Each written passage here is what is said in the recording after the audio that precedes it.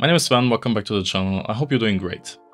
A few weeks ago I was approached by the team of Kromatica to review the latest plugin called DigiDiff. So I spent some time with it and I want to show you what it does. We're also doing a giveaway of a few licenses, but more on that later. DigiDiff is a diffusion plugin that helps adding character to a color grade that you would normally only get from diffusion filters on a camera lens. And it is in no way designed to be a replacement of those filters, but it tries to give you the same aesthetics and maybe help when you want a certain filter that you couldn't get on set while shooting. Also because it's a plugin, there's certain benefits that you get from it, but we'll talk about those later. So let's load up the plugin and see what it does. Because this plugin tries to emulate realistic diffusion, it is operating in a scene-referred environment, which means you have to tell it your current working color space. DigiDiff supports quite a lot of color spaces, but for this review, let's set it to DaVinci Intermediate as we're using this today. But as you can see, it can work with most industry standards and most cameras right away. So let's just apply it on a couple of shots. We can open the preset list and see a bunch of pre-built filters. The team has sampled original filters and recreated them with the plugin. And with the first two sliders we can modify the size and the intensity of those filters. So if you want a kind of dreamy and soft look, we could maybe try the Dream Sequence preset or the Glimmer Glass preset. And most of them look very subtle until you turn them off and on again. Now, you can also create custom looks with the Diff Designer.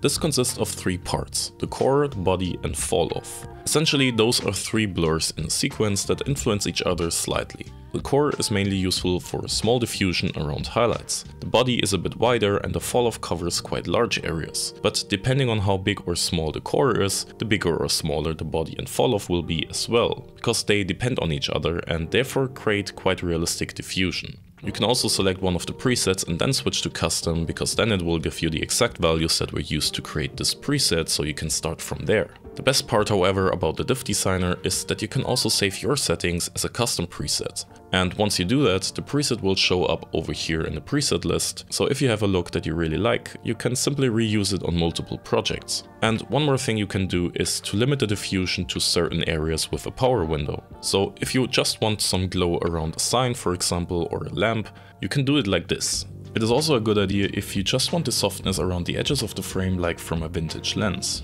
Down below the Diff Designer you will find an experimental tab where you can also just limit the diffusion to highlights, which can be useful because that's maybe even easier than using a power window. And since the plugin does some sort of auto exposure compensation when you increase the filter strength, you can also uncheck this here if you like. But this then obviously will brighten the image slightly depending on how much diffusion you add. So who's it for?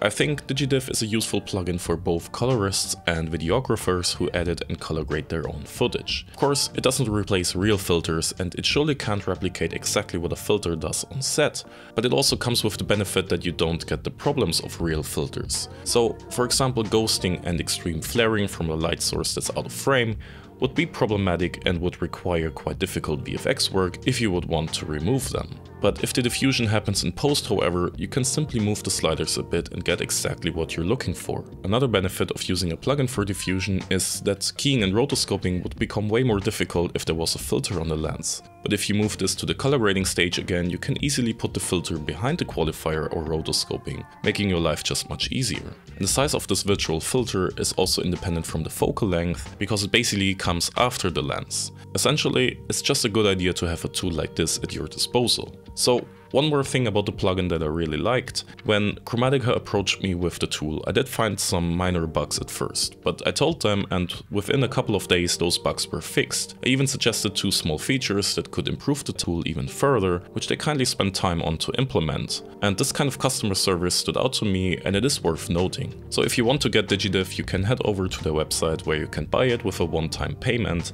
no subscription, which is again a major bonus. You will get two seats with the license and free lifetime updates. But before you buy it, let me also tell you that we're doing a giveaway on my channel. So you can win one of three licenses here in the comment section and for that you just have to subscribe to my channel and comment diffuse me under this video. The giveaway will end on the 20th of May and I'll release a YouTube short where I pick three random winners, so make sure to look out for this one as well. Really hope you liked this walkthrough and if you want to support the channel, please consider subscribing to not miss out on upcoming episodes. And until then, I will see you in the next video.